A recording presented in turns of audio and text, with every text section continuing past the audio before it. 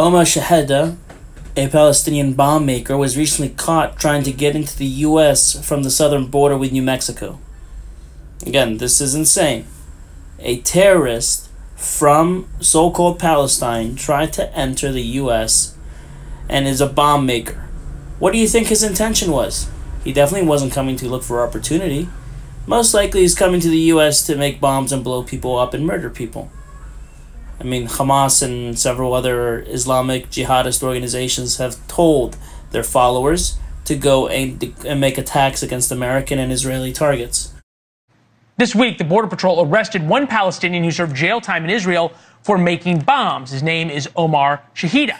The memo on Shehada linked him to using explosives, bombs. His arrest comes weeks after three other Palestinians with possible ties to terror groups were caught in the San Diego sector. It's unknown which terror groups the alleged suspects are tied to. Border policy critics say the number of Terror Watch list suspects arrested at the border overall is concerning. Ask yourself this question.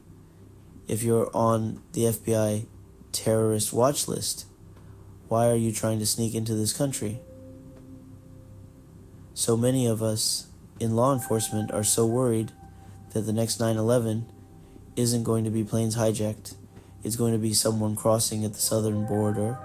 Virginia Attorney General Jason Miyares told Fox News this week intelligence officials have repeatedly put out warnings this year and in the wake of October 7th about the potential ripple effects of war in the Middle East and how it could drive terror around the world.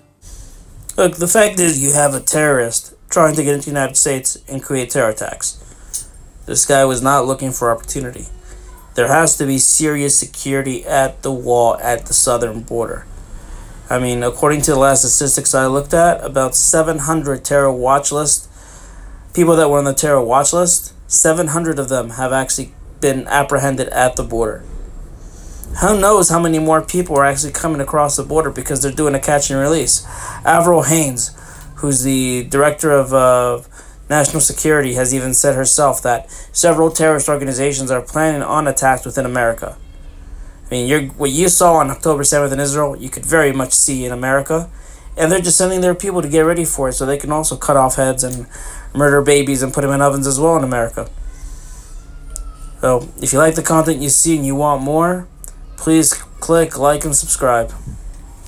Thanks for watching.